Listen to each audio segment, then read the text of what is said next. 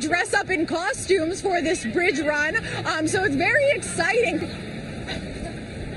It's very exciting. Um, people.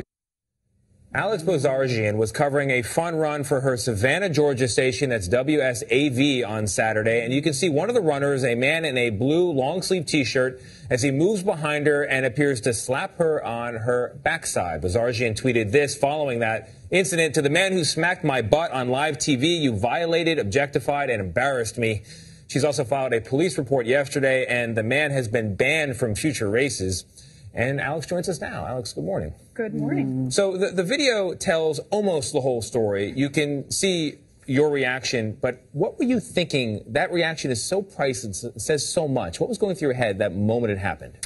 Well, the moment it happened, um, you know, you you you're in disbelief. Yeah. You you feel like did did that really just happen? Um, so took some time to process, um, but it was extremely vulnerable. Um, you know, and I think I, I would say that the reason why you know maybe it caught so much fire is because um, the emotion is extremely relatable for women all over the world. Not only for journalists working on TV, but for women in general. I mean, this is a workplace issue. Right, right. Um, And you say that slap actually stung. yeah, yeah. Um, it, it, it was a heavy impact. It seemed very deliberate too. When you're watching it, Right, it seemed right. very deliberate. Right. Um, yeah. I mean, it was. I mean, if you, I've, I've of course watched the video multiple times because you look at it and it feels like it's not you. It's like you're watching somebody else. Um, but he separates himself from the runners and he kind of winds up and um, you know he he hit me hard. I mentioned that it's deliberate because isn't he saying it was an accident that he didn't do it on purpose?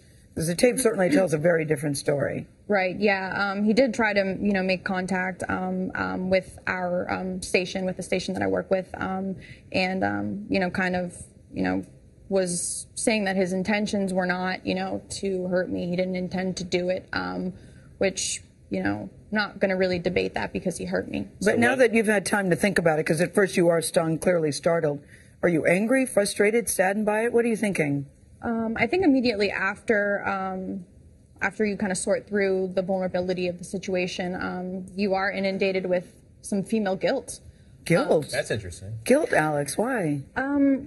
I guess maybe because of all of the um, social media attention. Of course, there's been an outpouring of support from so many people men, women, you know, um, people of all ages. You've also had people, though, say, accept the apology, move on, you said. Right, yeah. Um, accept the apology. Um, it's your fault. You put yourself in the line of fire. Um, Line of fire. Line of fire. yeah, essentially, just, I mean, maybe that comes from a misunderstanding of what live reporting Doing your job. is. Right. And, and you have a statement from Yeah, the we need to read this lawyer, yeah? lawyer's. The, the, the runner's lawyer sent a statement saying they regret the situation, but he, quote, did not act with any criminal intentions, that he's a loving husband and father, and they don't expect any criminal charges.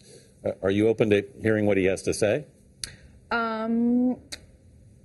I think um, what is most important here is that he took my power, and I'm trying to take that back.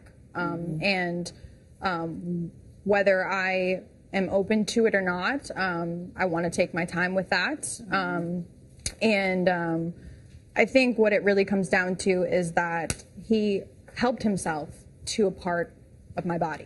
I, I think I think "took my power" is a really powerful phrase uh, it, because there are people, and you've heard from them, who are saying, "What's the big deal?" You know, he was a being rambunctious. Y- y- Real quickly, because we do have to go. What's the reaction to those people?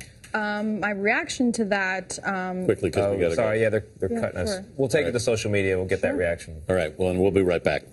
Stay with us. The question is, you know, there are people that have been writing to you. You showed me one of the emails. Who were saying, look, uh, the guy was being rambunctious. It's not a big deal. You're being a brat. Get over it. So, what, like, what's the reaction to that point of view? Well, I would say that maybe 10 years ago that was a more common thing in the culture, um, but um, it's not okay now. Um, it's it's not okay to to help yourself to a woman's body just because you feel like it. It's not playful. Um, he hurt me, um, both physically and emotionally. Um, and uh, I think in order to make any kind of change, um, you have to be a little bit drastic, and you have to um, kind of chip away at this toxic culture that permeates our society. Um, You filed a police report. I You- did. Do you plan on pressing charges? At this point, not totally at liberty to say to go into that. Um, I'm, I'm just hoping that police can do their job. Um, you know, I'm kind of leaving it in their hands at this point. Um, but I did make that first step. It's a line in the sand moment. It sounds like for you. Yeah, yeah, absolutely. Thank you, Alex. Thank you very much.